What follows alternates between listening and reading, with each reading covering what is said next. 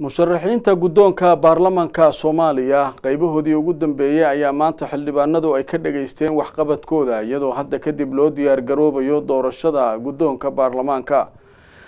Qaabkii ay maanta u dhacday dhegeysiga khudbadihii musharaxiinta waxaa magaalada muqdisho nooga soo dirtay waryaheena faadumo sheekh cabdulaahi kalfadhigii koowaad kulankiisii lixaad oo maanta mudanayaasha baarlamanka ay ku yeesheen xarunta golaha shacabka ayaa waxaa khudbado looga dhagaystay mudanayaasha musharaxiinta ah ee u taagan xilka guddoomiyaha labaad ee baarlamanka. Musharaxiintan oo gaarayay ilaa laba iyo toban musharax ayaa waxaa iscarsilay laba ka mid a waxaana ku jiray hal haweena sidoo kale musharaxiinta ayaa khudbado dhaadheer oy halkaasi ka soo jeediyeen waxay ku muujinayeen islamarkaana ku dalbanayeen codka golaha shacabka. Waa kuwan haddaba qaar ka mida mudanayaashii halkaasi ka hadlay oo ugu baaqay golaha shacabka inay codkooda siiyaan.